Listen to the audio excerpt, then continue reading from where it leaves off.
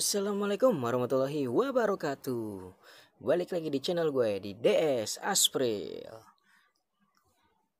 Oke teman-teman Kali ini gue akan share ke kalian Gimana caranya ganti oli sendiri di rumah Untuk motor Honda Beat. Jadi gini ya teman-teman.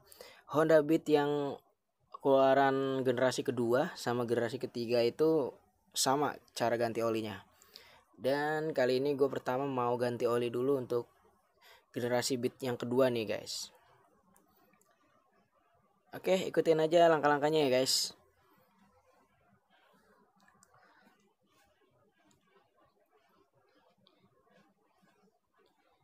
Ya yang pertama kita harus beli dulu olinya.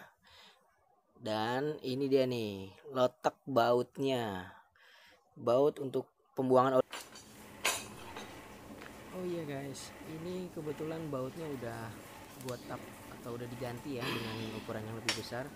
Jadi gua yang pakai kunci itu kunci 17 guys. Karena kunci 12 tadi udah gue coba.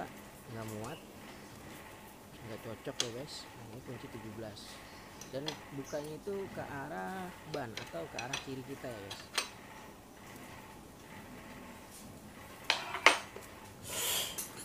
gua ambil kunci dulu yang pas.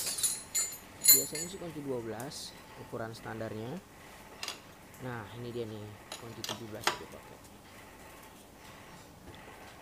itu ke arah ban ya guys. Muternya ke arah ban atau ke arah kiri kita. Ya kita buka dulu. Kalau udah enteng bisa pakai tangan. Kita siapin dulu nih embernya guys atau wadahnya Oke lanjut. Kita buka pakai tang ya guys. Sebenarnya ini kan tang potong. Jadi gue pakai bagian belakangnya supaya tidak melukai si baut oli ini nih guys. Nah, kita cukup tiriskan aja dan kita buka.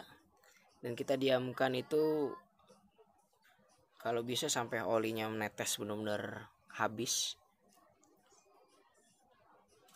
kita miringkan kanan kiri dan kita siapkan corong guys. Dan jangan lupa kita masukin lagi atau kita pasang kembali baut yang pembuangan tadi kita untuk buang olinya itu.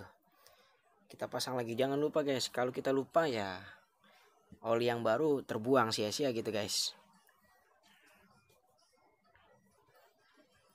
Ya kita kencangkan kencangkannya penuh dengan perasaan ya guys. Jangan dengan perasaan kesel ya guys. Perasaan santuy aja santuy.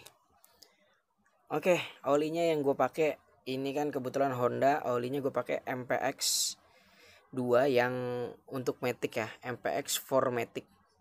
Ya 800 mili ya guys.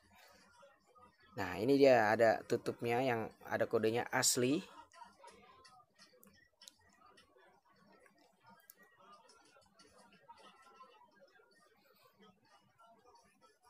langsung aja guys kalau bautnya sudah kita pasang kita tuang olinya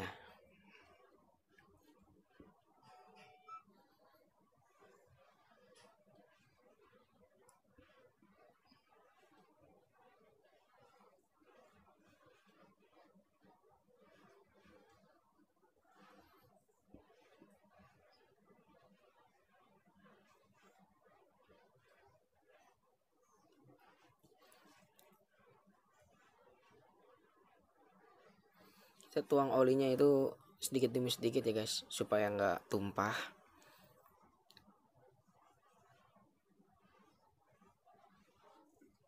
Sayang-sayang kan guys kalau tumpah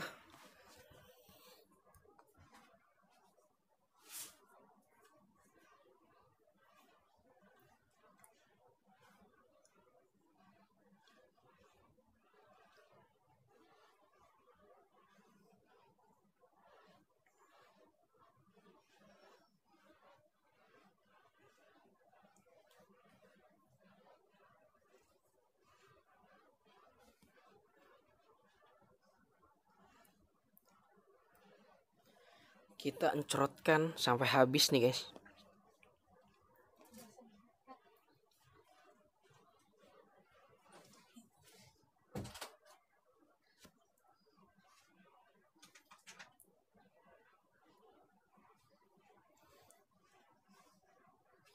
Ya jangan sampai habis. Nah langsung kalau udah selesai kita tutup nih guys kembali baut oli yang atas itu ya guys. Kita kencangkan sedikit saja dengan menggunakan tang. Tapi jangan gunakan tang seperti ini ya guys. Itu dapat merusak tutup olinya.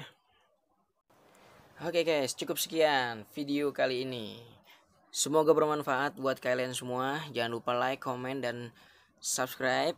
Dan share juga video ini jika kalian suka. Thank you.